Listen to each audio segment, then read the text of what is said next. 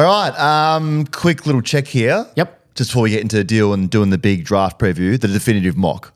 Okay. Just want he wanted me to do a quick little like room temp thing. He wants to know, put your hand up if you've been drafted to an AFL club before. Okay. That's one hand definitely up. Your hands are down. No, not in real life. Um, on AFL Live PlayStation. No. That doesn't count. Doesn't count. Just in real life. So my hand's definitely still up because you got Gil on. You should, it's actually that should be illegal to have that on there. So so just so I can get back to him quickly before he comes in here. Yeah. One. Okay. And you're a. And I'm none. You're none. Yeah, that's right. Yeah. So sorry. we're all we're good with that. So yeah, one I'm just and trying to none. remember how many games I played for this. Sun. Pick ten. And what we should do before we get in a deal here, I think whoever goes pick ten, we get around hard. Yeah. as like a little hey, you probably got 30 games in you. a little, trust me, mate. If the averages go to go by, you've got 30 to 35 games in your career. And that's a little, the orange pick. How about for for every year that this show gets a bit bigger, and obviously Mm-hmm. the dollars come in, Cash. uh, we sponsor Pick Ten. Yeah, done. Whoever's pick 10 we're Yeah. sponsoring, and we'll write, I don't know if you want to be on the letter. I'll be on the letter somewhere. Okay, we're going to send them a letter from Yeah. us. And it'll be like a hey, Yeah. congrats, enjoy the next seven years. Hey guys, welcome to the Dan Does Footy podcast. You can find more of Dan Does Footy on the website, Spotify, YouTube, and social media. Lids off. See ya.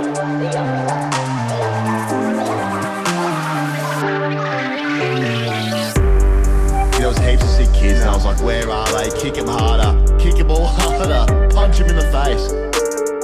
I'm bloody horizontally challenged, if you get what I mean.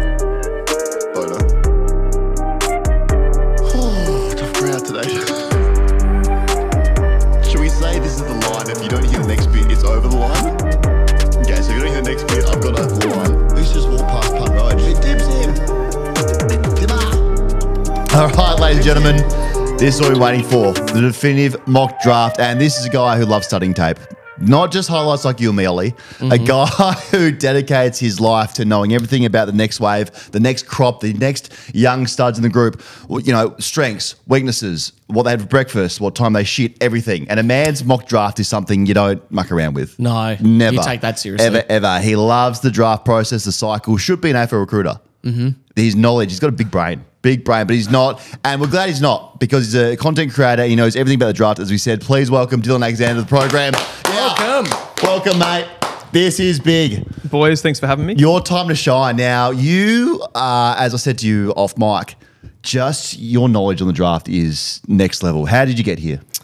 It's a good question. I think like a lot of things were kind of happening all at the same time that sort of coalesced into this this moment. Um, I've always been a little bit of a footy nerd, like always kind of looked to try to get into those deeper questions mm. like about Ollie. footy. Mm. Deep thinker. Yeah, mm. deep thinking, deep thinking, um, formations. There's a poetry to it all, isn't there? there really is. Yeah, yeah. there's a bit, a bit It's of gonna be a Man. long 45 to an hour, isn't it?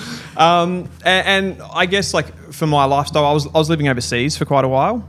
I sort of came back and I hadn't been into football that much while I was over there. I sort of got into some other sports, which probably helped me in some ways to maybe understand the game a little bit better as well. But I came back, got into a bit of a career change, but I sort of used football as a bit of a connector, I think, mm-hmm. between like people that I was getting, you know, friends, old mm-hmm. friends that I was getting back into contact with and changed my profession. I sort of got into a bit of documentary filmmaking, a mm-hmm. little bit of video making and stuff like that when I came back and sort of used football as a, a vehicle for that, a bit of a subject. And um, decided at the beginning of the year I was going to go along to a Coates Talent League game and Oh, the rest is there. yeah, the rest is history, really. And now I'm coming on shows like this talking about How the draft. good. What brings you to one of those games? It's like slow weekend. Yeah, I honestly, I don't know. Like, I had been, like I said, I was interested in video making in, Yep. in the content creation world, and I think I sort of did see trying to find information on the AFL in general was a little bit difficult. Like, there's still gaps, I suppose, in the Massive. in the content creation in those areas, and I, I just got it into my head that'd be cool. My first videos that I did were wildly unpopular. Oh, welcome to the club. Yeah, Oh, yeah. we that Like, experience. Yeah, yeah. I was I was vlogging it. wasn't a, a popular template to go with, but yeah, just I started doing some like talking head stuff, talking Yeah. more about the stats of the players. I think people connected with it, trying to sort of get into the draft. Particularly, I think when you follow a club that are really unsuccessful, throughout the season. It's something to mm. St Kilda's, your Essendon's. your North Melbourne. Because your season probably starts at the draft Yeah. at that point. And I think 95% of my viewers are Richmond fans. yeah, fair this enough. year, so.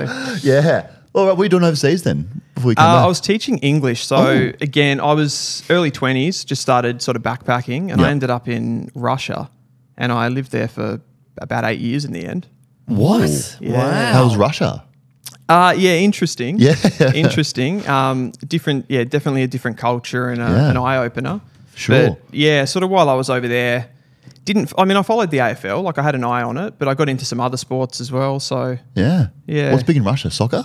yeah, yeah, that's the biggest yeah. sport. Yeah. Is it? Yeah. Um, CSKA Moscow. I would have thought you'd be. Yeah, all over. Tieska, Zenit. Yeah. Um, and then you've got the ice hockey, which is Yeah. they're Okay. pretty mad about ice hockey yeah. as well. just so- angry bastards over there. Yeah. I see that. Yeah, right. Well, as you said, there's a massive. Uh, we feel, and that's why you're here because we feel like there's a huge gap in the the footy world at the moment where everyone kind of knows maybe the first one, two, three picks. Really, outside of that, like last year, Harley Reid was the the big one. Mm-hmm. Everyone knew Harley Reid towards, but no one really cared at the start of the year. But come draft time, everyone's like, "Oh, Harley Reid's a superstar. Yep, got to take him, got to take him." So, really, we- we're so happy here, mate, because you your knowledge, as we said, is just so wide and so deep, and we can't wait to get into this thing with you and try and mock out what's going to happen on Wednesday night. A big night for one club. Probably it's their draft is Richmond. So they've got picks 1, 6, 10, 11, 18, 20, 23, 24. That's setting themselves up for the next decade if they get it right, which is a big one. That's the big if, isn't The it? big if. Because I like in doing some of these podcasts, I, I had a look at some other clubs that have had those kind of draft halls. Mm-hmm. You think back to your GWSs, your Gold Coast, but if you go back like a little bit further to Mm. that as well, you've got Melbourne. Who around 2008, 2009, that was when they were getting all those priority picks in. Mm. They had a couple of drafts there where I think they had about five picks inside the top 25, 30 Yeah. wasn't good. Yeah. So No. that was your your Scullys, your Trengoves, Yeah. Sam Blease, Yeah, I Tapscott, remember. those kind of players. Yeah. I think over that two year period, only one of those players, I think nine, ten players came through the door. Only one of them went on to be a premiership player Wow. Yeah, in, right. in 2021. So you've got the flip side, but then you have seen teams like, not that the Giants have won a flag, but No. they've drafted really well. They hit, they were able to retain him. Like the uh, you talk about, you know, 2011 there. So pick one, two, three, four, five, seven, nine, 10, 11, 13, 14 were John Patton, Coniglio, Tyson, Hoskin Elliott, uh, Buntine, Hayes, Haynes, uh, Tomlinson, Sumner, Green, Adams, and Smith. That's handy, even though they all Yeah. kind of went. And then the Gold Coast was the same the year before. Just had, I mean, pick 10 was always, I think it's pretty good actually. And there's, yeah, there's always a couple of misses. Like you're not going to get them all right, No. but it gives you so much more scope when you have multiple picks to be able to speculate a bit Yeah. too. Like you can take those high, high upside, high risk players. Yeah, is that you reckon Richmond do that with that many picks? They can be like, you know what, let's just get our first couple shored up, and but the rest of them we can kind of just for sure, the stars. for sure. Because particularly too, where they've got like back to backs, Yeah, 10 and 11, um, 23, 24. And, and with this draft, like a lot of people have been talking about how deep it is and how strong Mm. it is. Like it definitely does go back. So those late first rounders that they've got, 23, 24, I reckon they'll be able to do a bit of damage there. And even if it does seem like they have a bit of a reach, they'll be able to go like, oh yeah, we, we need a key defender here or we need a key forward or a, Yep. you know, Yep. outside mid. They'll be able to speculate. okay, fair enough. All right, let's not muck around. Let's get into it. We're going to do the first round. Is that what we're doing? Do the first round. Yeah, Yeah. It's the do it. definitive mock draft Wednesday deal. You'll lead the ship, mate, and we'll chime in every now and then and just give us uh, probably because, some. because this mid uh, this sorry this draft is very midfield heavy. One thing that I just want to take you through quickly Mm. Yeah. before we start is something that I worked on. I feel like in under 18 footy you can get a little bit caught up in the the numbers Yep. and the performances. So I, I had a look rather than just looking at what they're sort of putting down now, I had a look at how they're going to project to AFL level and looking at how AFL midfields are running at the moment. Love and I think most pretty much most midfields are running sort of three different types. So if you're an AFL midfielder at the moment, you're one of three types, and they, I call them the archetypes, which are the strike midfielder. That's like your heavily offensive, really kind of athletically a very speed dominant mm-hmm. athlete. Think about players like Christian Petracca, Isaac mm-hmm. Heaney, Jason Horne Francis, Harley Reid, those really like explosive guys. Mm. They gain a lot of meters big on score involvements, big Yep. attacking offensive threats. Then you've got your engine midfielders. Mm-hmm. That's more of your like Caleb Serong, Andy Brayshaw, Nick Daicos. I'd Yep. even throw into that mold, even though he has a, a bit more of an attacking flair to him. They're more of your endurance based athletes. Okay. Um, and then you've got the third type, which is a defensive sort of anchor midfielder. They're probably, as far as quality, they're a little bit less Mm. down down the rung. Probably don't have the footy skills or the athleticism of those other guys. Yep. Or they just failed Yep. in those other guys. So I think that's an, a way we can kind of go through this Love and that. break up how they're going to look because you people get very obsessed with the play the endurance based midfielders because they put up the big numbers. Yep. Your Levi Ashcrofts, Sure. your Jagga Smiths, they're getting 35 touches. If you look back historically at players like Harley Reid, Jason Horne Francis, Christian Petracca, their numbers are a lot more modest. Most of them never Yep. hit like averaging 20 disposals across Yep. a season. Reid was 19 in the talent league, Horne Francis around 16 in, in SA. Okay. In SA as well. So yeah, there's a Don't yeah, don't let numbers fool you, kind of thing. Kind of, yeah, Yeah. yeah, and and look at consider the athletic type when you when you're projecting the player because some Mm-hmm. Of those more explosive ones they take a little bit longer to to feel Yeah, I mean, it's a bit. But we'll get into certain players that are into it. But a player like I'm sure there's players now that you've seen like, oh, you're probably closer to your ceiling than what other players might, and that probably might come into it as well. Do you take in senior football against men at all or not? yeah, um, like you want to be able to see that Okay. for sure, but it's sort of like it's hard because the VFL, like as we know, like it's a it's a pretty big step down. Yeah. Particularly, Yeah, The one huge. thing that you see between the AFL, the top level, and that next level down is athleticism.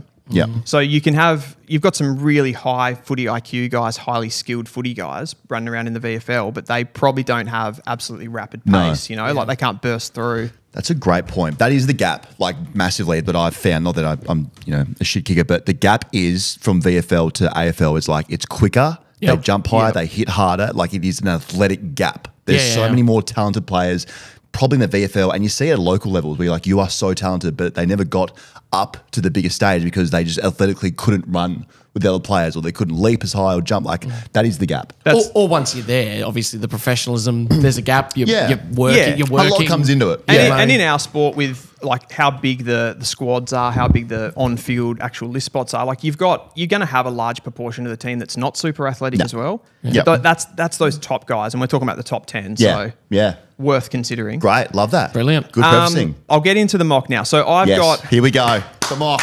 Let's go, I- deal. Deals, mock. Deals, mock. Deals, mock. Deals, mock. Um, I don't think this would be particularly surprising to anyone. And this comes into this because a lot of people have knocked this guy because he hasn't put up the numbers consistently. In the national champs, he only averaged about 12 touches. Plays as like a mid hybrid forward. He's very big. He's very powerful. He's got that speed element to his game that hmm. makes him a real threat at stoppages. Very strong. He's got guys coming to tackle him. He's, don't argue, he's dusty style. It's Sam Lalor. Oh, Yeah, I've seen him. He's Yeah. a he's a beast. He's a tank. Yeah, he is. He's a dog. 188 centimeters and really good overhead as well. So you can like plunk him in the forward line. Yep. He's going to take grabs. He's really dangerous one on one. But one thing probably a lot of people haven't talked about with Lawler is his handballing to be able to release other players into the game too. So he can just be that that big body sort of stay at home mid.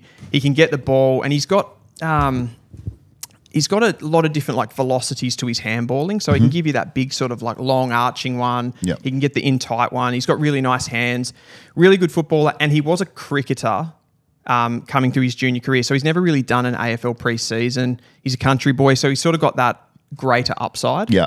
compared He- to some of the other players. AFL ready? Straight away? Yeah, I think he can play. I don't think he's going to be a guy that, like I said, with those endurance, more endurance based mids, he's a speed guy. Yep. Um, more of the fast twitch muscle fibers. He'll take a couple of years, I think, to really see. Build that tank in. Yeah, Yeah, yeah. He right. needs he needs time. He needs preseasons. Okay. But I think he'll play. Yeah, I saw some of his stuff. It's like full. No one's gonna be dusty, but that kind of the way he moves is like burst out, like those little yeah. short bursts of just power.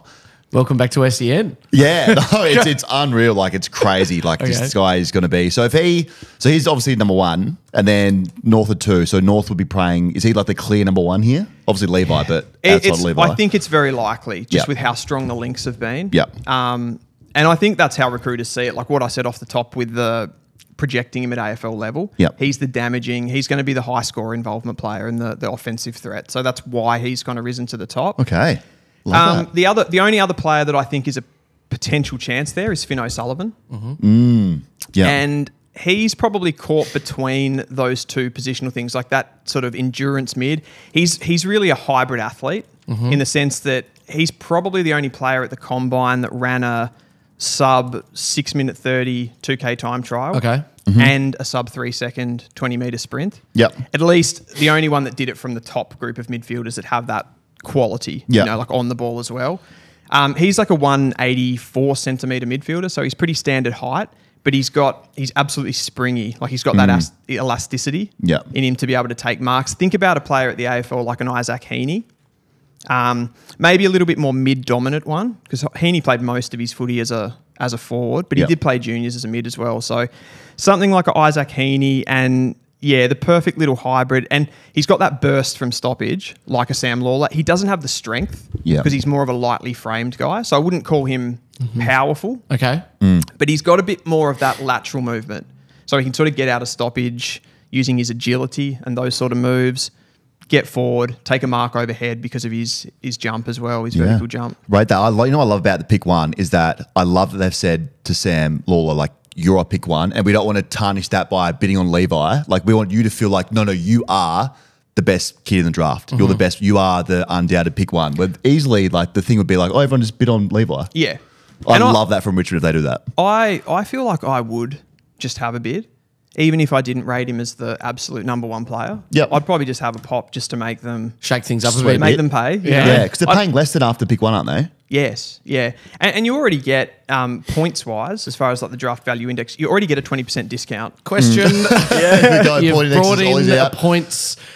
Talk me through this. So I am obviously aware of how the father son works. That that's I, I get that. Yeah. But how does it physically work from Brisbane's back end, and then the- team who select him that they have to match the bid for? What do, what are the benefits that they're getting, and, and what what's the go with the points? Talk me through that. I'll try to talk you through it. So every pick up until pick 73 has a, a points value attached mm-hmm. to it. Number one being the highest at 3,000 points, progressively gets smaller. And that's essentially so that the opposition teams can set the value for your father sons, for your hmm. academies by bidding on the player. So for the you know the task at hand for Richmond is do we give do we say Sam Lalor's our number one guy and we just pick him? If we mm-hmm. bid on Levi Ashcroft, we're kind of inadvertently telling Sam Lalor that we Yeah. we don't rate him as Yep. the number one pick. We And I'm rate big Levi on that Ashcroft. But Yeah, yeah. the payoff there is that we can make Brisbane pay the maximum amount of points, which means for them, what they have to do in a practical sense is use all of their draft picks that they have. Hmm. The points that are assigned to those picks, like I Yep. explained at the beginning, they go down. They've got to use them to match that point. So the higher the bid comes, So when you say use them though, like give them to no, they don't give them. They don't give them to Richmond. They just they evaporate when their points value is used up on that pick. So say number one is three thousand points, Yeah. and say number twenty is worth nine hundred. So they've got pick 20, 21, and twenty two. They're all going to. They've got to. Yeah, Mm. and those picks evaporate, and then all of the other clubs come up a spot. Yeah. Yeah. Yeah. right. Yeah, yeah. I rate that. And I so rate- does, yeah. that, does that then say hypothetically that would that's essentially how we've got players left over going into like the mid-season draft, right? Like essentially, so like if players are coming down like that because spots have been evaporated and there's been what seventy? How many people in the draft? Seventy four? Did you say like? Or how, like how many nominate picks. for it? Or, Yeah. or how many picks? Yeah, there's between, often between 60, 75, somewhere Okay. in, in that position. That, that sort of, uh, that's more complicated because that comes down to list sizes. Yeah, okay. And things and how many, how many picks clubs actually take in the Yeah. draft and then what they want to do with their list and all of that sort of stuff. So, um, how the picks drop down, what that affects is, say you got a Collingwood, Mm-hmm. they're sitting with pick 52, first pick. Yeah, ah, watch, watch out, though. It'll be some sort of Coleman medalist or something. But- yeah, yeah. That's probably going to be like 46. Yep. Because those, like Brisbane and Gold Coast, who both have academy and father sons in this draft, they're going to use several picks later in the draft to match bids. And all of those, there'll be like eight picks will just drop off. Yeah, And. Collingwood will just keep sneaking up the order gradually Right. as those picks drop off. Is there like a little behind the scenes handshake? Hey, like, don't. We're not going to bid on him. So this is the thing. The thing. And- Are they talking to each other saying, "We'll look after you," or is it like, "We hate you"? Actually, The AFL Yeah. actually brought in like some sort of a liaison person to sit in on the club's meetings this year. so Oh. that didn't happen. Because you remember the Nick Daicos year? Yep. The Giants had pick two that year. They didn't bid on Daicos. They bid on Sam Darcy. Hmm. The year before, they'd actually done a trade for Collingwood's future first. So that was Collingwood's draft pick. And they think that in that trade in the mm-hmm. previous season, they'd actually had a Oh, yeah. We're not going to bid on Daicos. This is a pretty favourable deal. Sneaky bastards. Oh, so now bring someone in to sit in the meetings to see. So they've brought someone someone in this year to say like we don't want this stuff to happen. Like obviously it still can because they can just do Yeah. They just ring up and say oh yeah by the way we, did, Yeah. we didn't mention that in the I just need meeting. to go to the toilet. I think you need to go to the toilet as well. yeah, but Yeah. um, Brisbane and Richmond did a massive deal this season. So Brisbane traded pick twenty, which was their first rounder, to the Tigers for a bunch of later picks that the Tigers had because this is what clubs do when they have academies. They don't want high draft picks because you're you're wasting it. So they get they get five six Mm, yeah. later picks that are worth Right. more points than that first pick Yeah. to use. So they've done the deal with the Tigers. So you'd, you'd think somewhere in there. Um, Richmond got their nice first round pick. Mm. They offloaded a bunch of later picks to Brisbane, and they went just also don't Don't bid do that. Levi. yeah. Well, there's also some cash up in hand here. Pick one gets a bit of uh, a bit of a kickback from NAB, I think. I think so. Yeah, I think it's like 20k. I, I tried to look in the CBA for that, and I actually couldn't find it. I think it's 20. yeah, I think it's outside Yeah, yeah, it is. Yeah, AFL payments. Yeah, Yeah, yeah, yeah. it's So- not a brown paper bag. Those days are yeah, yeah, Yeah. I, I don't know that exact figure. Yeah. but, but yeah, that is a part of it too. So if if Richmond bid on Levi, they're essentially giving him 20k as well. Yeah. but not the yeah. Wow. Wow. What's this? All right, that's pick one. All right, pick Okay. two. North. Now the big one has been. Well, I've heard. Are they going to split it? Yeah, they, does they, Richmond they make a want move to. for it? This is North driven. Yeah. Yeah, they want to split it. They absolutely do. So there's three clubs in the line here. Tigers. So oh. North go to six. Tigers come to two, and there's a, a late swap of picks as well. Saints seven and eight. So one of those picks go to North, Yeah. and, and they get hold of Ollie's two, and they sweating. they get up for it. Yeah, yeah. Um, and then the other one, which seems to be gaining the most traction, seems the most likely, is Adelaide, who currently sit with pick four. They get up to two. North slip back to four. Um, and then the Crows give a future, something like a future second that they would obtain from a West Coast Eagles. That would then facilitate North to get back into this year's draft potentially a little bit later on, and they could get a, a second key position player. Yep. Okay. Okay. Okay. So what do you think's happening? So what I think ha- is happening, I'm going to go with the Adelaide one. On this. Wow. I'm actually going to go with the Adelaide one on, and Adelaide get up to pick two, and then they take the local boy Sid Draper. Oh no! I wanted him with the Blues so bad. Yeah, Yeah, right, Carlton, are, okay. su- Carlton are super keen on him as well. Yeah. and I think that's why Adelaide want this deal Yeah. to happen Wow, because 'cause- they think Carlton might take him at pick three, so they want to make it a sure thing. Yeah. Um, Wow. And yeah, he's Draper. Again, I go back to that. I reference that archetypes thing I was talking about. Really nice between like an engine um, and a, a strike.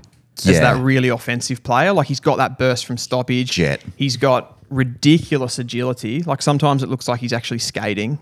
Like he gets on that lane. Yeah, yeah, yeah. Comes out of the stoppage. There was a huge contest, national championship style playing Vic Metro, and he had a big contest with Josh Smillie, who's a brute of a guy, Big 194 centimeter mid, and Mm. Yeah. he just took him out. Yeah. Like won the hard ball, spun out, burst forward. The thing, the, the reason, so Sid Draper, he's third on my rankings as far as from a ranking perspective of these midfielders. The thing, the reason I put him behind a no Sullivan or a Lalor is just the fact that he doesn't really have the forward game. So you're not going to be able to like plonk him forward. He's not going to take overhead marks. He's probably like a, I'd call him like a supercharged Caleb Serong. okay. Okay. So he's got more of a burst, more speed, but a similar type midfielder around that. okay. Yeah, I'm, I was big on him when I said I Yeah. want Blues. I think he's True. a perfect if he gets the three or whatever it be if, if there's bids in there to Carlton. I think he's that perfect just contrast to what's in at the moment. But if Crow's obviously a massive on him, SA boy makes sense. Like they're big on SA talent always. Yeah, yeah, hundred percent. And they'd see compared to the other mids, they'd see him as a player they could retain, and Yeah. he sort of suits what they need as Yep. well. Yeah. both both Adelaide and Carlton probably need that sort of high Mm. meters gained, really progressive midfielder. Yeah. And no bid here for Levi yet. Um, that actually was the spot that I was going to. Now I'm sort of contradicting myself here because Carlton and Brisbane did a deal as well. Mm. Yeah. But I think at some point someone's going to have Someone's to bid on, to- okay, on. Levi. I think it'll either be um, so if Adelaide move up to 2 Mm-hmm. they would definitely do it, or it'd be Carlton. Okay, so let's go to pick three. So I reckon this is where the bid might come. So I'll, I'll go. I'll go pick two if Adelaide come up. If they come up, All right. yeah, Cool. So Okay. pick, pick two. Yep. All right. Uh, pick three. Pick three is Carlton, and given that Draper has gone to the Crows, we've got to go Finn O'Sullivan Okay. with this one. So I sort of like I reeled off before his Yep. his traits. And I think I did a video a few weeks back on the Blues, their sort of midfield mix, and how they've got Cripper, they've got Walsh. They're unreal at winning the footy, getting Mm. first hands on the ball, but there's no one to just like to drive them forward. Oh right? no, we're so slow. Yeah, Yeah, we're no, so slow. No pace, no sort of lateral movement in there. Nah, we- big yeah. turning circles. And the other one you got Hewett, who's that defensive, Yeah. defensively minded mid. So you need someone with speed, Mm-hmm. someone that's going to take the game on.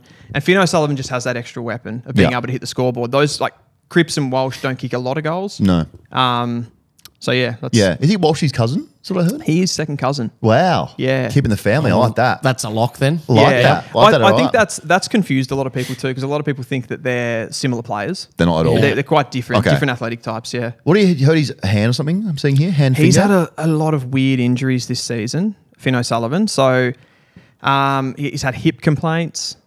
Um, he's had a hand injury through the national championships, and then he re-injured the hand getting cut open.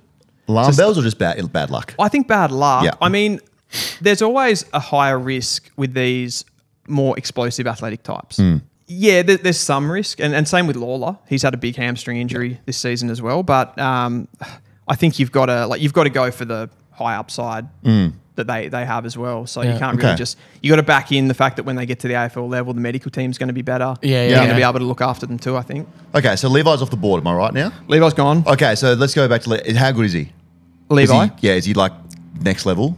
Like he's crazy. he's brilliant. Um, the the term that I've used to describe Levi Ashcroft this season is ruthlessly efficient. yeah. And I don't want to knock him in any way by this, but he's he's not the most exciting player. He's just everywhere. Like he's an unbelievable runner. He gets so much footy on the transition.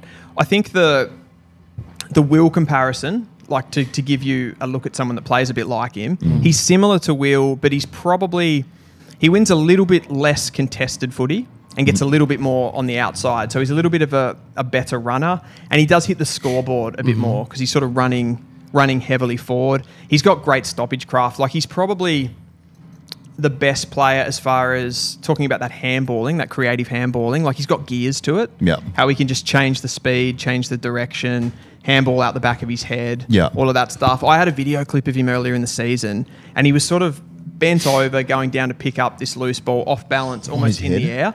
And just the velocity that he got Yeah. on the handball to release someone running through. Um, and that just shows the work that he's put into those like really fine features Mm. of his game. But you probably don't like he's not a, an- a super exciting pick, but someone that for like the lines, they're just getting him for like Man. not for nothing, but No. they you know they they just want a premiership and they get a player of that caliber. Yeah. Well, it comes from a family winners. That's all he knows. He Yeah. played one VFL game, had 35 touches in a goal. I was like, that's enough for me, boys. I'll play the real level now. Yeah, like yeah, he's, yeah. For those you said, like I know a little bit about him, but not like what he's. Uh, from what I'm hearing, he's not going to just jump out of you on the screen, but he'll get a lot of the footy. Hundred percent, and like yeah, there's something almost about the winning side of it that's a bit in, intangible because he wins everything. That's something you need. You need to bring in winners. I reckon. Yeah. I'm big on bringing in winners. So that's I like that. Okay, so he's off. So pick four, come. We've done now. Back to pick five. Who has pick five now? So Crows that have is moved up. going to be North with the swap with the Crows, Mm-hmm. and they're going to take the guy that they've just been hot on for pretty much the best part of the back end of this season, which is Alix Tauru, the biggest bolter really in this draft, given the fact that he wasn't even representing Vic Country. He wasn't even going to be, yeah, in that side Wow. at the beginning of the year. He's the youngest player in the draft. Yeah. So I, I like that too. I like that element of a younger player that Yeah. may have been overlooked because of he was a bit younger and a little bit less developed. He's got massive athleticism as a uh, what would you call him? Like a medium tall defender. Yeah. He's about 194. Plays taller. People have compared him to James Sicily. He's like he's significantly taller than Sicily. I think Sicily is 188. Hmm. Um, so more in that medium type. I'd say Tauru's closer to a key position player. Think I'd say Noah Balta Okay. someone like that. Mm-hmm. And Tauru has he's gone forward at different points this season, played as a key position forward. By the last few rounds of the season, he was dominating, Mm. playing forward, playing back, even playing in the midfield a little bit Yeah. as well. What's his he's, nickname? Viking. yeah, the Flying Viking because he's got Swedish and Finnish Oh, heritage. Tell you what, Yeah. Swedes, they don't fuck around. The No, Swedes. oh, They're- well, they're- you've you they're- have I've always always said, that, too. that. I've Yeah. always said that. Yeah. I mean, I saw some of his stuff that he just lives on shoulders. Yeah, Like he's just uh, all pack marks or floating across. Yeah, like and he backed that up in the combine with some like ridiculous vertical leaping Okay. and, and stuff like that. He's got good pace, about three seconds for a, a 20 meter for a big man. So if he goes to North, where is he playing forward or back?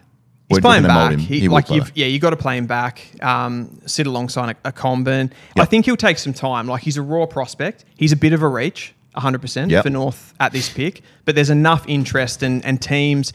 The thing for North that's tricky is there's a lot of teams in this top end that have double picks. And teams like Melbourne, St Kilda, who have those back-to-back picks, they're, they're going to want to take a guy like this alongside a midfielder. Yep. So North don't have a lot of choice to be able to fall back Yeah, much sure. much further than Yep. this. Okay. And I just think with the amount of midfielders that they've brought in over the last five years being so bad for that long, they've got to take a bit They're of a stacked. Yeah, Yeah. They're, sta- they're stacked in the midfield. Like you, everyone that they've drafted recently, McKercher, even Duursma's really supposed to be a big-bodied mid. Yeah, they'll just turn you into a mid.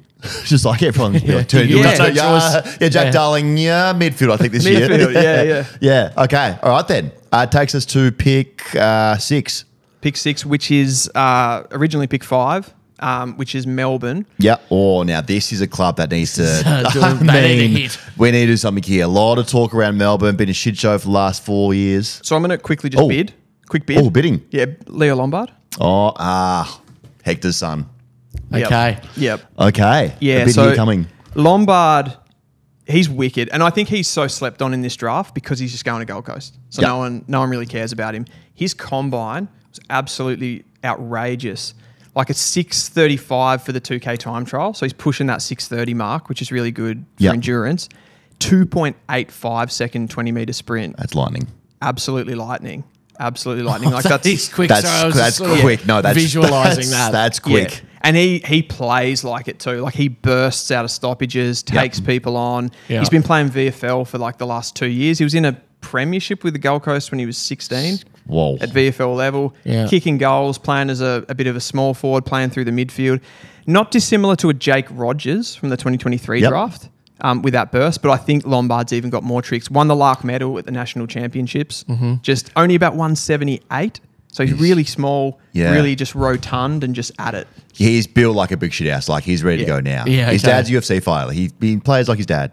He just throws his weight around, physical. Yeah. Like I like him a lot. He's, Yeah. he's like the his highlights are my favorite. Just the stuff and, I saw. And I think because he's been going to the Gold Coast, people have just gone, yeah, whatever. Like he's go. about tenth, but he's he's good. Like he's a Yeah. high end midfielder, and the fact that he can run like that puts him up.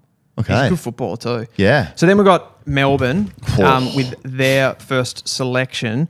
So I've gone back and forwards on this depending on what happens up the board because they're they're very linked to Harvey Langford, another big bodied mid. But I think given what's transpired ahead, they're going to take Jagga Smith. Okay. Um, he is the the ball mule, Jagger. Mm-hmm. Just if you've ever seen, like, think about the best loose ball players at stoppage, the guys that just get their hands on the footy when it's in contest. Nick Daicos is probably one of the best at it. Gary Ablett Jr. He's that good at that phase of the game. Wow. Just finding the football. Big vacuum in there. Absolute vacuum. Wow. The And vac. has um, it's it's quite unreal to watch him how he can get himself out of traffic. Just a lot of like retreating, evasive stuff to get away from the crowd, and Yep. then he's pretty much handballing. So he's a high handball player. Not a lot of penetration forward. He's got those sort of thirty to thirty-five meter kicks that sort of sit up a little bit. So there's not that real oomph Yep. in the game. But as far as the stop, if you want someone to come in and win, get you ha- like hands on the ball, and then just be creative to you know release the runners off mm-hmm. halfback, release the wingers, those sorts of players, Yep. he's absolutely perfect. Yeah. Okay. Reminds me a lot of Zak Butters. Yes, a Yeah. little bit less penetration. It's good by you.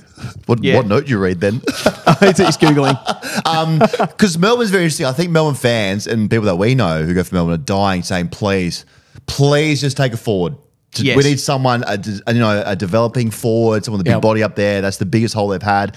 Uh, but this also is hard because the club is a, a bit of a shit show at the moment inside the four walls. You've got CEOs and presidents leaving.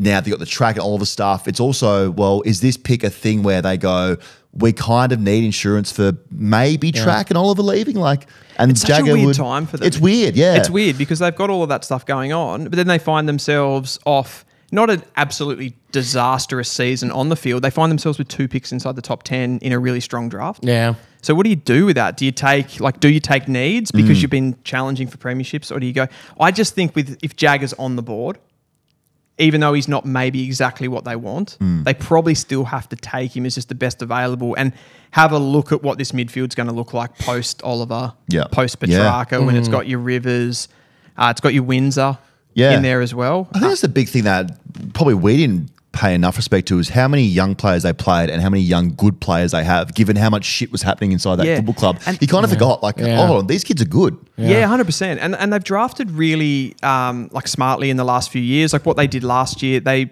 jumped up. They gave away some late picks to jump up slightly in the first round to take Windsor and then to take Tholstrup Yep. as well. So they've gone. They've definitely gone with the draft. We want to get as high as we possibly can to take the best Fair enough. Yep. available talent or even a specific player that they want that they Okay. think is high end. Cool. Okay. Well done, Melbourne. Love that. Yeah, I Yeah. like that. All right. Who's up next now? Pick. So Richmond, they're going to take the big-bodied mid here, Josh Smillie. They're the club that has the most links to him inside this top ten. He's like, if you go back to early parts of the season, he was the clear number one. People thought that he was just going to elevate his game as the season went on. Yep. Had a bit of a quiet national championships, and when he has sort of stepped up to that next level, he's probably looked a little bit. Um, a little bit more cumbersome, a little bit more slow as Mm-hmm. a bigger bodied midfielder than when he's been dominating at the talent league because he's just so much bigger and stronger. Genuine man child. Yeah, yeah. because he was the clear number one, I swear, 18 months ago. Like, he came Yes. out as like, no, like, I'm the number one. And he was just like built like he's ready to go. He's yeah, hundred percent. And he gets like everyone that's a huge mid gets compared to like Bont and and Cripps. Crib. I think he's more of a Tom Green Okay. as as a mid. So Mm-hmm. he's not slow, um, but he's not. He doesn't have that super speed that makes him really explosive. Yep. You know what I mean? Like out of the center stoppage. Yeah. So I don't see him as a guy that gets out the front. I see him as a guy that gets his hands on the ball. He uses his body really nicely to block players. And then he can use his hands to get out. He is pretty nice with his foot skills. Mm-hmm. Maybe like if you imagine someone like a David Mundy Yep. from years gone by, Yep, yep. pretty nice. Like can, can actually roll off the half back line. Yeah. So it's it's pretty nice. It's just how many of those guys that are big bodied mids go on to be Bont Cripps? Like it's Yeah, it's well, is he one of those ones that we said before we started? Like he's one of those ones in the draft where he's closer to his ceiling. You think? Like we kind of seen. He'll get better, obviously, as you will playing outfield, but he's kind of he is what he is already. hundred percent. And like he's got size on his side Mm. in the sense that clubs will look at that and go, okay, you know, he's not not a one eighty centimeter small No. mid that's going to look like we can plunk him in that midfield. But I I maybe don't see the the elevation that he can go on to be like one of the absolute game breaking players. Sure. Yeah. Yep. Yeah. Okay. But that's that's Richmond's second pick. So Yeah. they'll get they'll go Lalor at one, Smillie at six, Six. there. Yeah. I reckon they'd be sniffing around Jagga if he was available, but I've got Melbourne taking him at five. Mm-hmm. Okay. Okay. Um, Uh, then we go to the Saints, yeah. Pick eight. pick eight. Yep. Um, they will have a bid on Isaac Kako here, Mm-hmm. the Essendon NGA product. The Yep. rules actually just changed with that that NGA system too, so Essendon could match a bid in the first round this season, and that's perfect for them because I don't know if I've ever seen an academy or a father son bid be just the perfect player for a team straight away for Yeah. their for a needs base.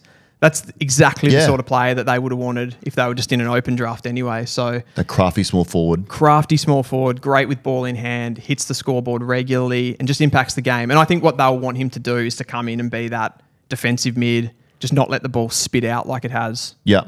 Okay. so, so regularly in recent seasons. Yep. Okay. So that'll be the Saints. That's eight. Then you got uh, Melbourne at nine here. Ah, yeah, so the, the Saints will pick though. That was their bid. Yep. Um, Oh, sorry. Yeah, it was there. So that was that Saints was their bid. Yeah, yeah. Yep. So they will select, and this is where I'm, I'm zagging a little bit from the maybe the convention. Most people would be thinking someone like a Harvey Langford comes into the picture here. I think the Saints are going to go for Bo Allen, the West Australian, Okay. Big Bo. big Bo. Big raps on Bo. So I line those three big-bodied mids up that are in this top ten conversation: Smillie, Langford, Allen. Yeah. Langford is probably highest on the footy IQ, footy skill side. Smillie second, Yeah. Allen third. But then you go athleticism, and it completely flips. Allen sub three second twenty, rapid Oh. rapid pace, and they're all one ninety plus. Yep. these guys. Um, aerial ability, he was top five in the the vertical jumping. At the um, Yep. at the combine as well. He's played senior footy with Peel. He was in a premiership win for them earlier in the season. Has floated off halfback, gone into the midfield. He looks a little bit raw, Yep. but when he gets a run at the footy, he's got that burst. He's got that explosion, explosion, and he can play forward as well. So you've got, I think, from a, an upside point of view and projecting him, I think he's got the highest upside of all three of those big body mids. So I think the Saints and Ross Lyon, we know he like he loves those running players. Yeah. the players that can run, um, have speed. So I think they're going to take a risk, and they've been heavily linked to him as well. Yeah, right. I think West Coast be kicking themselves because the talk was keep pick three and maybe get Bo just because WA product and they wanted him. But then they've got, see here, West Coast did have 12 to start the draft. So he might get a 12, or you don't think he will in this mock, obviously? He doesn't get a 12. Bo might get to 12. Do you reckon he slides out? Or you I don't think so take him? because I don't think he'd get past Melbourne. Yep. at, at Sure. nine. Okay. I think Saints are hot. I think the D's are hot too. Yeah. So then, with the second pick, I think St Kilda are going to be targeting mids Hmm. across the board with these two picks. I think the next one that they go for another brilliant runner, not as much on the speed end, more on the endurance end, but Xavier Lindsay, Yep. player from the Gippsland Power. Yep. Um, he was fantastic in the national champs, like a big ball winner, a beautiful ball user. He was in the academy team that's put together the best players basically from the draft year go into. He, he rolled across halfback, so he's a beautiful user of the footy. Yeah. Can go inside as well, but I think he's another player that the Saints, again, if you look at their draft history, players like Darcy Wilson, they love those enduro bunny mm-hmm. you Yeah. know, high intensity runners, and that's exactly what Xavier Lindsay is. A smaller body than Bo Allen, so there's some complementary Yeah. stuff going on there. Yep. I think they'd be looking at building that midfield with a, a Phillipou, Yeah. an Allen, and a Xavier Lindsay long term, and then you got your Steels and your Macrae's just doing a bit of work. He's got a bit of um, pendles about him, I reckon. Xavier, Yeah. yeah, yeah, really good, really nice movement. He's just picking off notes over there. yeah, thanks, Ollie. But yeah. he, yeah, he does. Yeah. Okay. Yeah. I, I, I liken him a little bit to Colby McKercher. Ah, nice. from, Yeah, from yeah, last yeah. year. A little bit less pace, Mm-hmm. but Yep. yeah, similar rolls off the halfback, good user, Yeah, nice. Good running ability. So I think that's what the Saints do back to back. Okay. Um, with those selections, and then they get a nice mix in there. D's then would be next. Yep. Um, they're pretty hot on Alix Tauru, but given the quality of this player that's still on the board, and we talked about that need for a forward, I think they'll take Harvey Langford, Okay. who is Okay. a midfielder, a big-bodied midfielder Let's mids again. mids again, but this guy can roll across as a bit of a third tall in the forward line. He can be a, a major marking target. I talked about him when I compared him to Smillie and to Allen. His main weakness is he's very slow. Okay. Like he's ve- yeah, quite Plotter. quite slow. Yeah.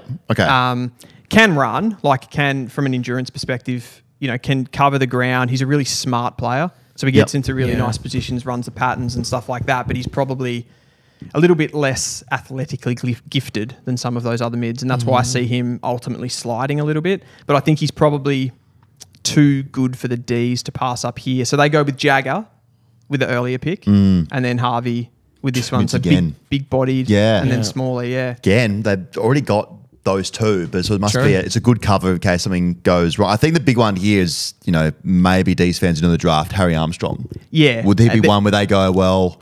Now we'll listen to you and say yeah, okay, we'll go after a forward. Yeah, Like- Harry Armstrong's a, a really interesting one for me. I think when you put him up, when you try to do the best in class thing Mm-hmm. of that type of forward, I probably don't see him as like you're comparing to players like like a Cadman, someone like that that he's a little bit similar to. Yeah. he he plays a lot deeper. Like he only touches the footy seven eight times a game. Yeah.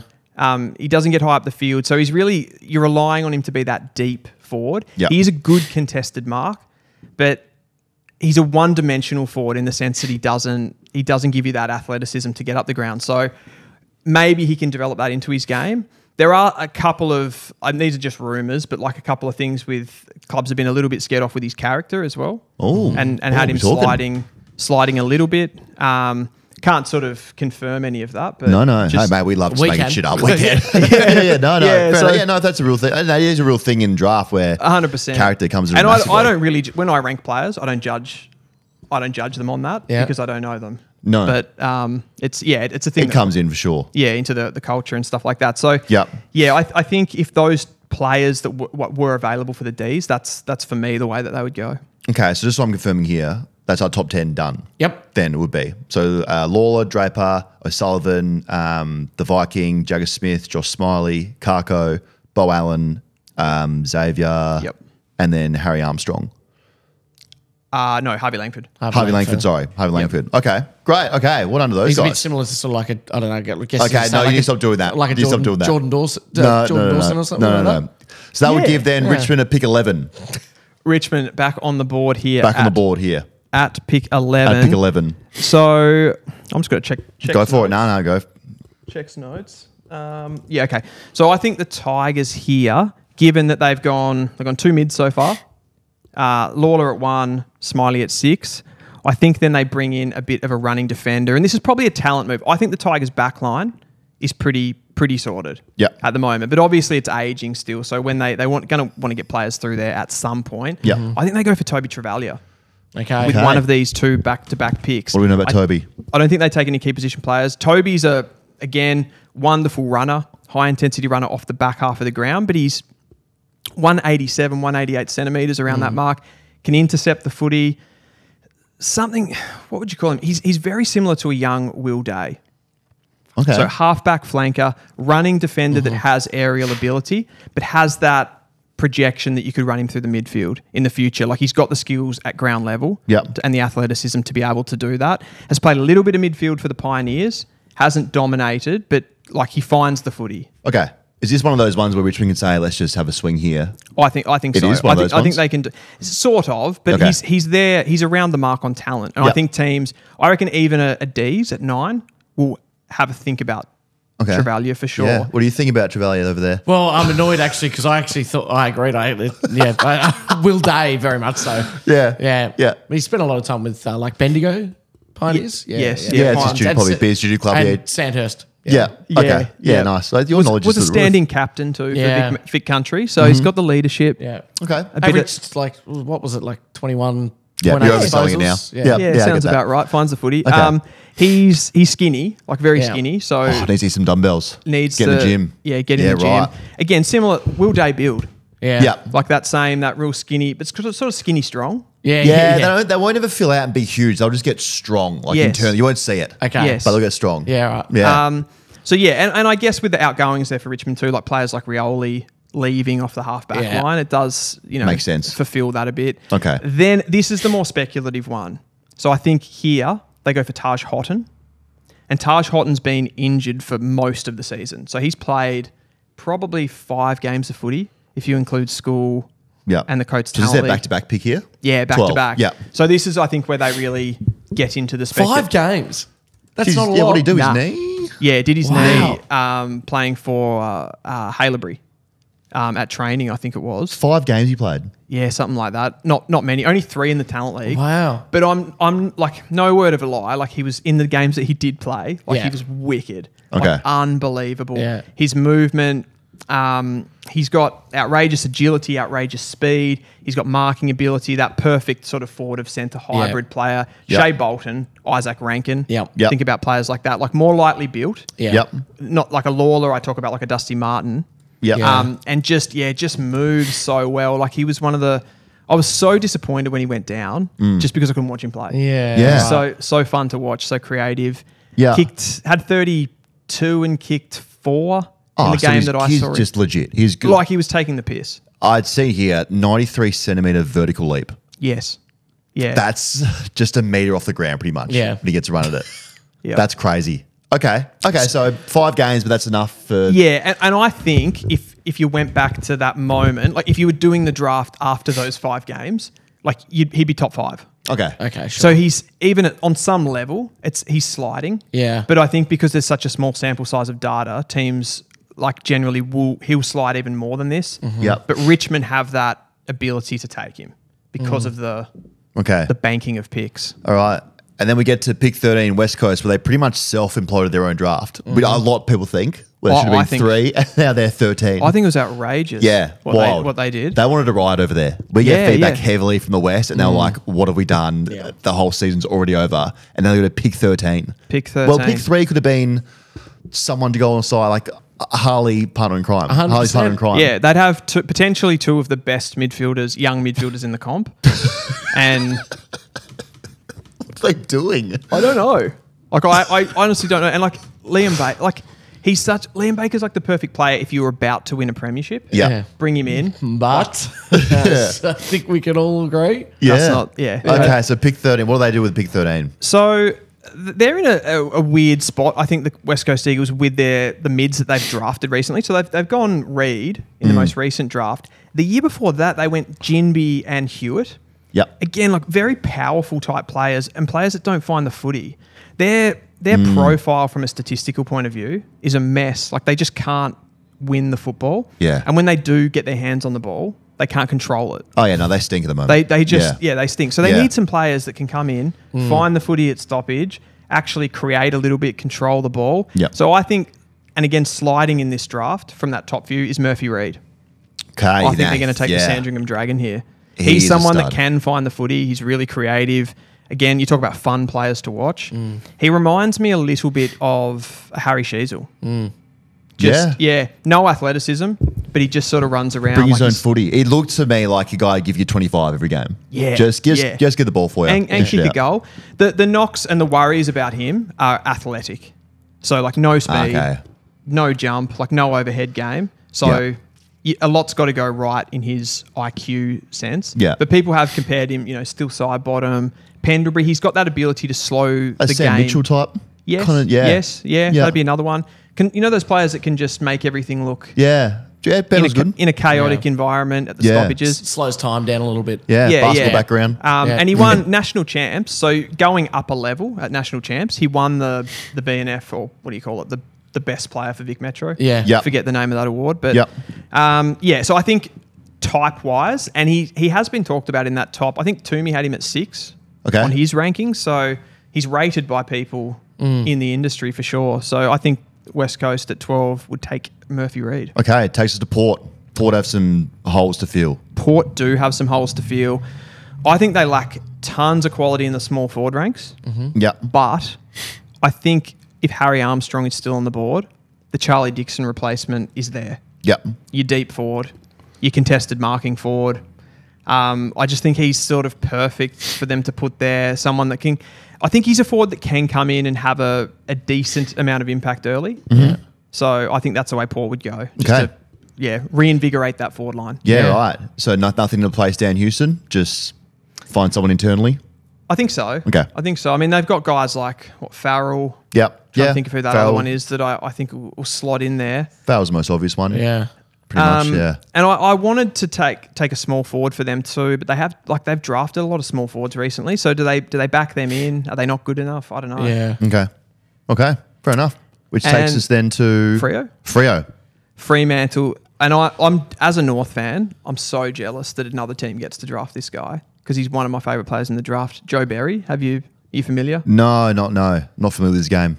Right. I, I, Ollie, you'd be pretty familiar, wouldn't you? Yeah, well, Yeah. I, I mean, I guess like a Dylan Moore comparison Yes. comes to mind. Correct. Like, What website are you on? he's not like he's not massive. He'd be like what 180, 80, 81. yeah. How did Yeah. you know? Mate, he's a Murray Murray Bushranger. You wouldn't Tell- have his like his date of birth, would you, by any chance? Just off the top of your head. No, no, no. But no, he spent a lot of time around. But Murray Bushranger, Wangaratta, yeah. Yep, no, yep. and a, another one of those fast developers. Yep. So um, I don't think he was even in the Bushrangers team as a bottom major, No. which Okay. is it's quite rare. So I can tell you it wasn't. that's it. Yeah, Yeah. I think I've read that too. Yeah, yeah. Um, yeah. So Murray Bushranger, like just a, a pesky little small forward. yeah.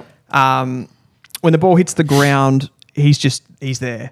Like he's Yep. there. He's creating, kicking goals, hitting the scoreboard, and I think his big like advantage. And when we talked about Kako as that sort of small forward earlier in the Mm-hmm. top ten, Berry's got the aerial game. So he's that little aerial hybrid. Think about Jamie Elliott. Yeah. Um, Yep. who's the other one for Collingwood? Hill. Hill. Yeah. Yeah. Yep. Those types of players that can play in the air as well and then just be really dangerous. Berry's ran through the midfield and like picked up 30 touches too Mm. Yeah, right. in games. So he's uh, like, yeah, he's fast, he's agile, he's Mm-hmm. just got everything. And the modern, modern, like teams are starting to draft these players really highly now. Like I don't think they were 10 years ago. Mm. But what I think the Giants have sort of set the standard there, taking these smaller forwards, Hawthorn with what they did with comes to mind. Like a Bedford. yeah, yeah, Yep. even that type of player. Yep. Um, yeah, the Giants like uh, Phoenix Gothard. They took. Yep. Um, who's the helmet guy? Forget his name. Uh, was a lot to get around the shin boners, but they're up there. Um, uh, food for Giants. Yeah, not Helmet Harvey guy. Thomas. He's another one. Oh, um, Darcy Jones. Yep. Yep. Yep. Yep, yep. So small forwards are in vogue. Those guys Yeah. who can win contests, forward of the ball. Like I think teams are even neglecting key position players more than ever. Yeah. Um, someone that can compete in the air and then bring those other players into the game. You get it in quickly, Fair enough. and they just pounce on it. Freo are pretty good all over the field, though. It's one of those ones where it's like they don't have a glaring hole. No. Forward, No. they're good. Back, they're good. Mid, they're really good. It's just like if bringing pace. I think pace, Yeah. regardless, kills, as the saying goes. But bringing pace. Yeah, yeah. And if you do look at those small forwards, so they brought in Bolton, which massively helps. Oh, they're gonna be so quick. But he can roll through the midfield a bit as well. Then they've got like their forwards are like Switkowski, uh, Bailey Banfield, like not the most quality. No. So bringing in a player like Berry, like ball in hand, Yeah. just a, Yeah. a lot, a lot better. Yeah. Right. Okay. Well, Freo are gonna be an absolute problem Oh, next year. they're a wagon. Then we create. Yeah. they're a wagon. Um, take us to back-to-back picks from the Giants here. Giants back to back picks. I think they take Jobe Shanahan, big key position forward here. Just develop him. Not a need, but he's he's from New South Wales, um, and and from the country, sort of down on the border there somewhere. Yeah. New South Wales, Victoria. So I think they'll take him. Ollie will know. Don't stress. yes, yes. I actually don't have anything to say on Joe. I know that he's kicked 11 goals in the three VFL games for Essendon's VFL side. okay. So that's. We I'm, take I'm that, just yeah? big. I'm Yep. just personally big on kids playing against men. Yeah. Yes. I don't know. It's, for me, it does something like just the physicality. Not the the pace is different Yep. because we said there's a massive gap between the VFL, but I've always just been big on like getting thrown around or throwing your weight around against men, and he's done that. Hundred percent. Because some players do just shrink a little bit, don't they? It's intimidating. Like Yeah. your first game against a man is like whoa, but he Yeah. clearly is yeah. just I think that's a good point too, and it's probably something that recruiters look at in that how not necessarily how you go from a numbers point of view, but how you take it. hundred percent how you bounce back, how you get, Yeah. how you take getting you know shoved around. I think it's huge. Yeah. I've always been big on it. Yeah, so Jobe, um, yeah, dominated at VFL for the Bombers. I think the Giants take him again, not a need, but just someone that is from New South Wales, kind of fits what they're trying to do. Yeah. he's a yeah good competitive player, and then The Giants just stay in their home. Sorry, the Giants just stay in their home ground. Do they ever draft out of like? I don't remember them ever plick, plucking, plucking like a. I'll tell you what they do. Yeah. They draft like they they still draft heavily out of Victoria, but Uh-huh. only the country zone. They rarely take a player from Vic Metro. Oh, really? Yes. Why's that? Just some. Um, they just see the Vic Metro players as more likely to want to go home. yeah. Okay. Yeah. Um, that makes sense. The- yeah, the country. I think most teams have that as a bit of a philosophy. yep. But yeah, them. If you go back and look at their history, it's Yeah. really rare that they'll take a, a Metro player unless like the talent level's just too Yeah. too high. Okay. Okay. Yeah. Yeah, Smart then. Makes sense. Yeah. I think I do remember Joe. by Oh, the do way. ya? Because you went out to that game, didn't you? Yeah, and he's. I mean, his ability to take a set shot, but also go crashing back with the flight is actually very Nick Riewoldt esque. Yes. Yeah. Ollie's Yeah, just people have crammed said as that. much info as he can late here when the pick comes up. So what about? So we're up to pick. My now I'm confused. Pick 16. Uh, Giants back to back. Giants so I went back-to-back. Jobe at the, with the first one, and So another, can I just ask what Ollie would do here? yeah, what would you do? Uh, well, given where they're at, I reckon I just I wouldn't split them. I'd go back to back. You go back to back. Yeah. But like a name? Got any names in hand or not yet? Uh, yeah, I'd thi- I'd thi- I mean, obviously Joe Berry's off the board. Yeah. and then I think by by then, honestly, like the, the like a tall forward like a Jonty F- uh, Fowl fall. Nah, I would say a bit later for him. Well, Would you take two key key forwards in a row? Yeah, Uh, I wouldn't uh, actually. that's what you listen. Well, yeah, no, I probably would think. Well, if that's the case, then like you could even look smaller, like a like a Jasper. Um, Why are you looking at your screen so much? Oh, because I've made my own notes. You're copying off mine. so I've got like a Ja- Ja- like a Jasper Alger. Yeah. Where's he from? Uh, oh, it's like yeah, like uh, Oakleigh Chargers, Warragul. Gippsland. Yeah, Warragul. Um, yeah. yeah, Warragul. It's like a, a bit sort of Toby Greene like. Yes. Yeah. Yeah. He's a genius. As, do you echo that or not really? It's Uh, okay to say so no. what? I, similar path I've got. So Jasper Alger. Yeah. He'll be definitely one that they look at. I've got them going though a different small forward. Uh, We Ollie trust Han- you more. Do you? Yeah, definitely. do. Ollie, yes. Uh, Ollie Hannaford.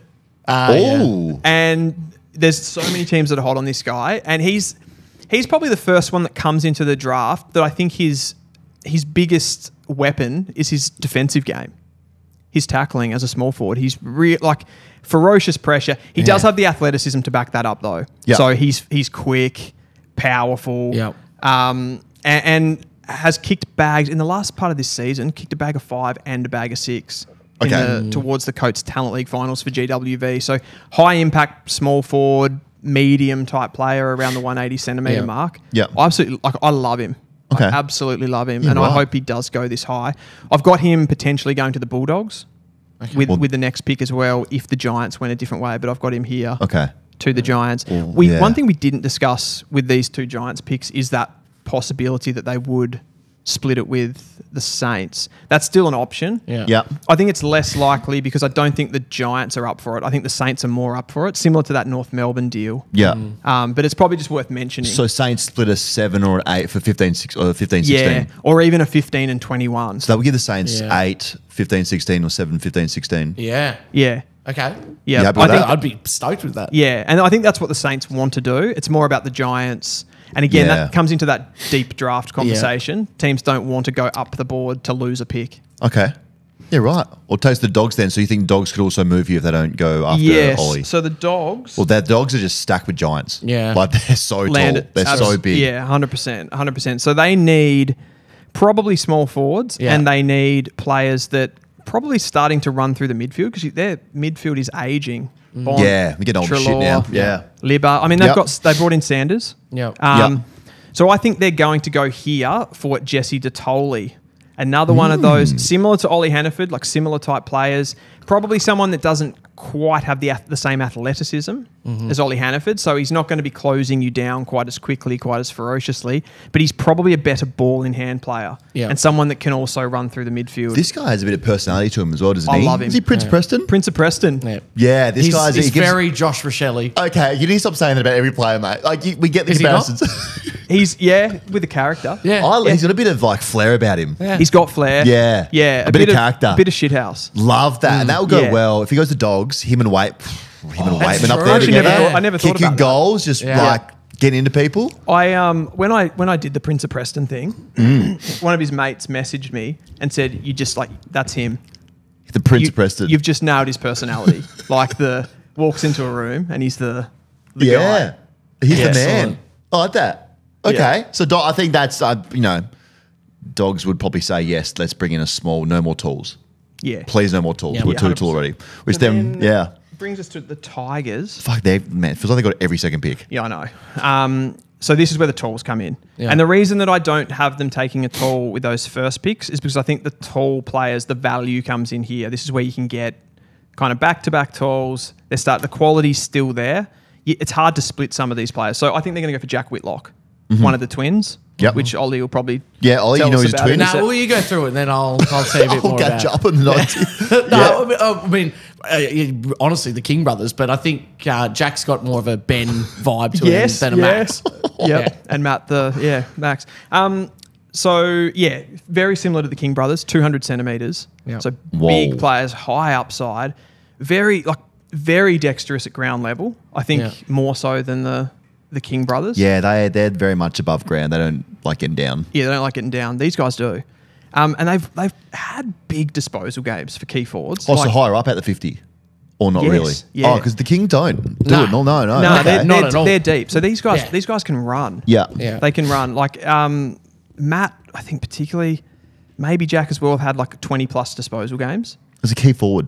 Yeah, like Yeah. and they almost play like at Murray, they've almost played as like a big utility Okay. at times. yeah, A little bit of rucking and stuff like Mm-hmm. that, pinch hitting. I don't know if they'll do that at AFL level. No, No. But um, I don't know, just the scope for what you can do with that positionally to get up the ground, be that sort of athletic tall. I love that. It's a good one to go on to Tom Lynch's wing.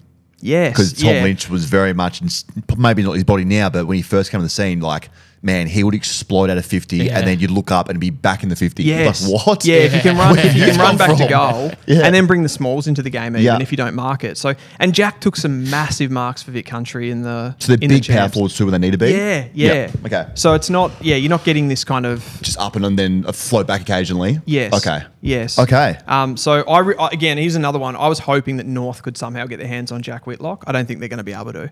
Okay. So I have to give him to the Tigers. Right. Well, Tigers clean up here. Then Sydney at 19. Now, Sydney, when you come off winning a, f- oh, almost winning a flag, it's one of those ones like, what do you really need to do here? You need to tweak something slightly. Like, there wouldn't be a big positional need, is there? in No, Sydney? No. I don't think they lack for talent.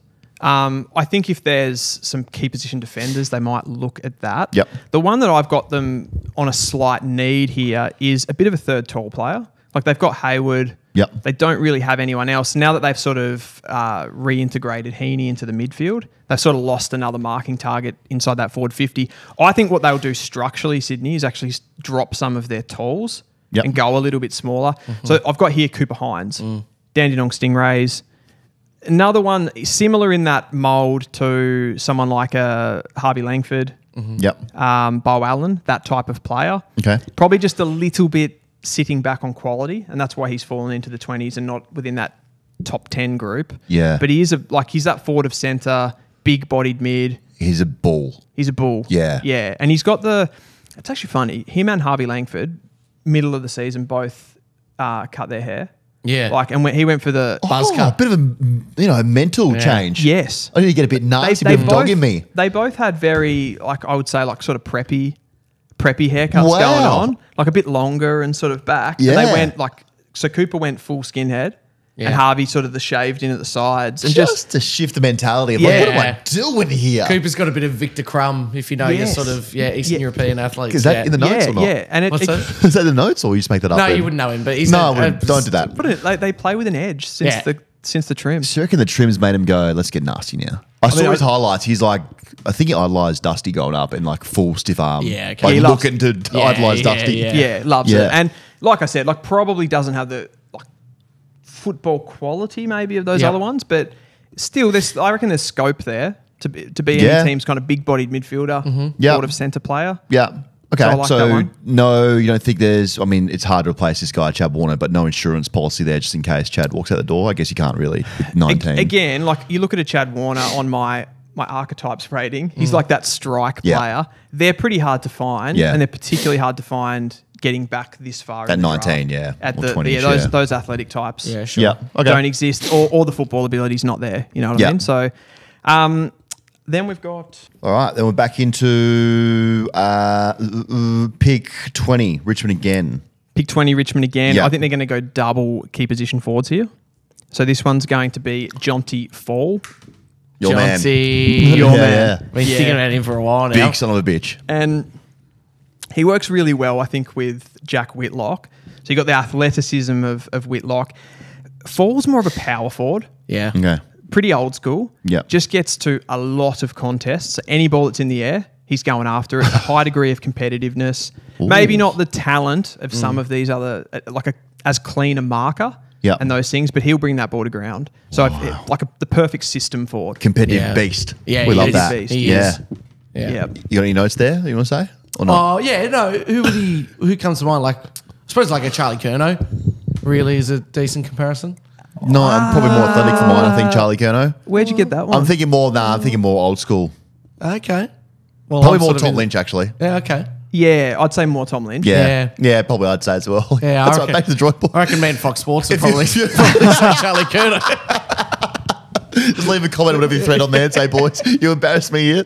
Yeah. Um, that takes us then to Big 21 Giants again. Giants again. Giants, yeah. So they're going to go small forward again here, I believe. Oh, let up in smalls. They, they love it. They, Okay. do- they Fair do- enough, They, yeah. they just absolutely love it. They want to have the best small forward brigade in the world. Well, you can if you have every small forward. yes, yeah, exactly. So here they're going to take Jasper Alger, who you actually Yeah. Yeah, your before when. I when I had Hannaford. So Okay. yeah. Yeah, probably um, like again, if it's that hybrid small forward model, someone that's good aerially and at ground level. Yeah. Um, country boy, so from Gippsland, came in and played for the Oakleigh Chargers this season, Yep. and then for Vic Country. So he was he was boarding at one of the schools there, and just really exciting player, like good speed, um, hits the scoreboard regularly, and like on the the small forwards are the ones that get me the most jealous. Yeah. Yeah. I don't know, they're just exciting, aren't they? Yeah. Yeah, they are. Um, so yeah, Giants, Alger to the Alger Giants. there. Good family Algers. His brother Cooper was also a great player. He had an incident on a work site and he got, uh, can't remember what tool it was, but something came off and got him in the eye. Oh shit. And I, I went out there and met Cooper and Jasper and his family, and like lovely family. So I think his brother is younger, Jasper. I was like, no, no, well, I'm going to try and, you know, if you can't get there, I'm definitely getting there. So it's, that'll be good to Yeah, see. wow. on the night. Yeah, yeah. Didn't know that story. Yeah, from Warragul. The uh, you know that though, Ollie. Yeah, yeah, Warragul, yeah. What are they call What what's the what's Warragul? What Uh, seagulls? I don't believe There they you even are. Nice. to them. as- Um, pick. Tw- just single names. Uh, pick twenty two, Sydney. Pick 22, Sydney. They're going to have a bid here. Okay. on the Brisbane Lions Academy product, Sam Marshall.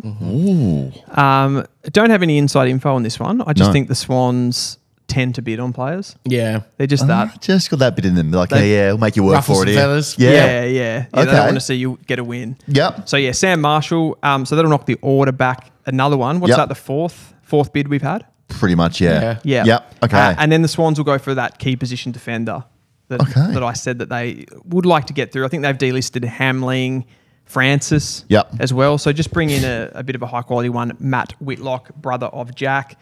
Again, similar similar profile really. They're both really athletic key position players. Matt's played more behind the ball, whereas Mm-hmm. Jack's played more forward, but they they they dabble. Yep. Um, and yeah, he's just going to be a really high quality tall, 200 centimeters, so he can play on those on those big bodies for the Swans going Love forward. that. Well, that would round out the first round. Done. That's the mock. That's the definitive That's- mock. That's look, mate. Credit to you because there's a lot going on. Yeah. Have we got There's- one more for Richmond? Uh, Richmond to pick 23 end at the round. If they get pushed back, then Sydney. Yes.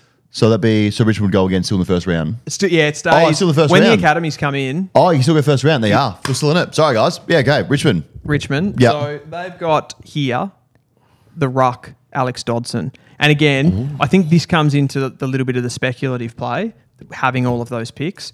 He's the he's probably the most talented ruck we've seen in recent years come through. Mm-hmm. Basketball product. Could have gone on and had a, a career in basketball. Yep. Um, has had a scholarship even, I believe, and really had to decide whether he was going to play basketball or football this year. Yep. Decided to choose footy. Still got a lot of growth to go. Like he's certainly not dominating, but um, he's a big hit out ruckman. Yep. Like 204 centimeters, athletic as anything. Oh, mate, they'll just they'll play him on a list and say you just grow for five years. Yeah. Yeah, yeah, he's one of those that. We'll give you another five years to get growing. Yeah, he'll never Okay. he'll have a career for Yep. sure. Yeah, for sure. Um, Okay. Yeah, but yeah, high high upside ruck and probably someone that they see that can give him a fair bit on the transition and not just be a, a plonk there Yep. kind of ruckman. So Okay. Yeah. Mate, credit to you. First round done. Definitive mock draft is in the books. Who knows what's going to happen? A lot of moving pieces, a lot of bidding going on, a lot of splitting Yep. picks potentially. Wednesday night's going to be absolute carnage. All right, guys, you know what time it is. It's time for a feed. I hope you're hungry. A delicious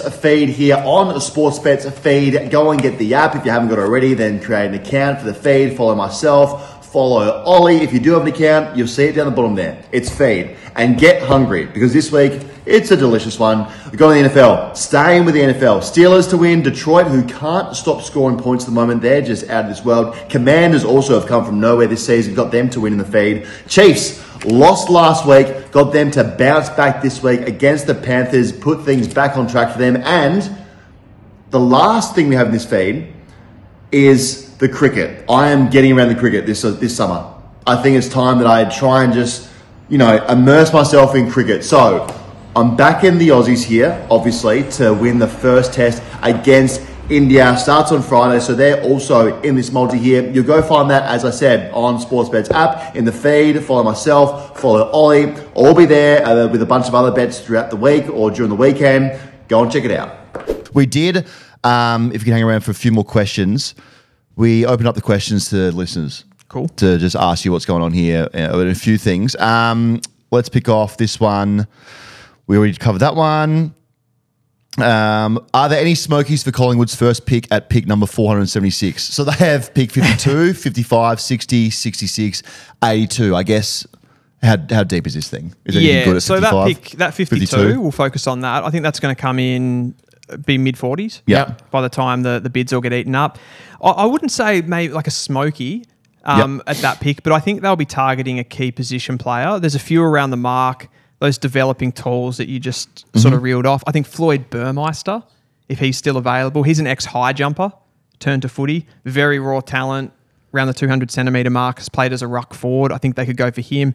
Thomas Sims, another 200 centimetre key forward that developed pretty quickly this year, made it to Vic Metro. Yeah. But I think they'll be definitely looking key position. Gabriel Stumpf is another one that dominated the combine.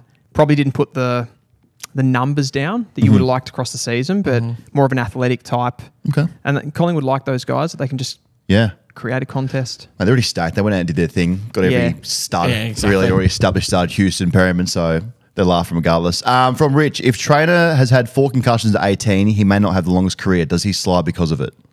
It's a really good question. Um, a lot like there's been tons of speculation about this. I don't think like anyone on the outside really knows the facts about that. And concussion's such a grey area that it's a hmm. tough one. I think if like genuinely when you're dealing with something like concussion, if the AFL clubs like they do largely see the draft as a risk management exercise mm, in some Yeah. ways. Like they do, they genuinely do. So if they believe that he's had a lot and his concussions coming on, you know, more quickly than what mm. for other players, then they he will slide for sure. Okay. Yeah. Um, Angus, are there any 23 year old carpenters around Geelong or Geelong going to draft that end up being four time Australians? Probably, probably. They'll find some of that. Is it how is it? We got some mature players in this draft, or is it Yeah, all just there's young? a couple, couple of state league guys. Yeah. Um, Sam Davidson, uh, Riley Bice Yep. from Werribee uh, as well. I think this draft maybe not be not be as fun for that kind of player, just in the sense that it's deep. Yeah. So I don't know if clubs are going to say, like for lack of a better word, waste a draft pick Mm-hmm. on a mature age player when they could maybe rookie him, like Yeah. get get Yeah. someone in the in the rookie draft as well, or even you know the mid season draft. So I think we'll see less of those players. I think Davidson's in the mix, Bice is in the mix Yeah. as well. Yeah. but it'll be tough because you'll be banking on it'll be that player. You kind of know what they are, Mm. but maybe lack a little bit of upside compared to that, you know, maybe raw eighteen year old. Yeah.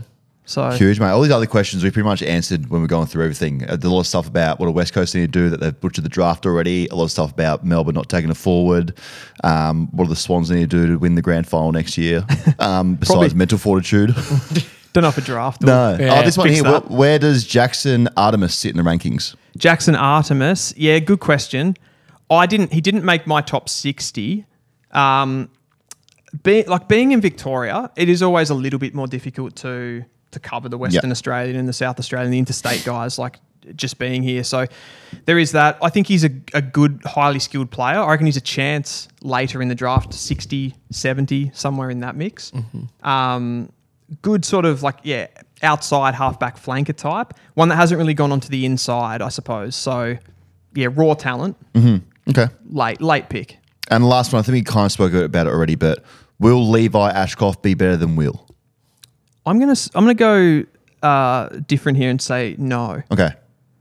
Look, I, I did a comparison video on, on those two a little while back, and I had a look at their numbers at under 18 level, compared them, and Wills for, for, like Wills was significantly significantly stronger in the contested football side of the game. Yep. So I think Will's superior at stoppages. Um, Levi has a few more things like his running ability that I mentioned, but I think Will's got more that sort of stand him in. Is Will bigger? Uh, or Will's taller. yeah. I think he's actually a little bit as far as like the body. He's actually smaller. Okay. As in like taller and skinnier. Yeah. And uh, Levi's a little bit more nuggety. Yep. Um, which you'd think would lean more to the contested possession being in Levi's favour, but it's Yeah. actually in, in Will's. Yeah. And yeah. Fair enough. Well, mate, you're every chance to get drafted with one of Richmond's picks because that was just unbelievable. the way you've done that, you might go, you might be off the board by pick ten there. So, mate, thank you so much. We look forward to seeing how it unfolds and your work. I, I, I keep saying it. If anyone is listening who's a recruiter in the Yeah. AFL club, like, give him a job. He knows, you know it back to front, mate. Like it's unbelievable. So thank, thank you. What's your, what's your highlight? What are you looking forward to now? You've done the work. Like, what do you sit back and watch the draft and go, okay, that's a cool moment. Like, I enjoy that. Is this also I- your Christmas? Yeah. You just like, Yeah, open yeah. a bottle of Pinot and just watch it all Like, what do you You know what? Like I was a I was a teacher before this. It's weird. I feel like even though I don't really have that much to do with the actual guys that play, like I feel a bit like a teacher watching your That's proud of them. this, this sounds So stu- proud of this sounds so yeah like I am I'm like I'm like I get to see that player the enjoyment that they have I've kind of watched them all through the season even though I've had no impact at all Yeah. on their actual careers I'm not I'm not teaching them but yeah, You, Yeah. s- you feel a bit You know them. yeah Like, I you know feel you. invested in it Yeah, yeah. I think that's exciting and I, I'm just keen for something like a bit big and interesting to happen on the night like you do your Mm. mock drafts and stuff like that but if someone wants to blow it up I think that's cool too Yeah. like I don't think you have to be too obsessed with getting it Nah. Absolutely Nah. spot on. That's like the it's, beauty of it. It's a bit of fun, and I've enjoyed doing some like kind of weird mocks as well, where you do some random stuff just to help bring Yeah. bring people into it. Hundred percent. Well, thank you for coming on because I think Yep. this has been great. It's been you know very informative, which Yeah. is a good change of pace for us because we don't know we knew nothing about the draft. Like Ollie was reading someone off there, um, but it was good that people you know get the insight, more of the players, Yeah, absolutely. how the bidding works, the points, mate. So hopefully North do well. Yeah, yeah, hopefully. Very, very Yeah. well. Yeah. Saints, Thank you. Yeah, I mean, I, I hope to. yeah. well, you know the players now, so Yeah, you, I'm across it now. Back to front and Blues. Let's hope that Sid's there by Yeah. pick three, four, whatever it ends up mm. being. So, all right, thank you, mate. Appreciate it. Thanks for having me on. Thanks, mate.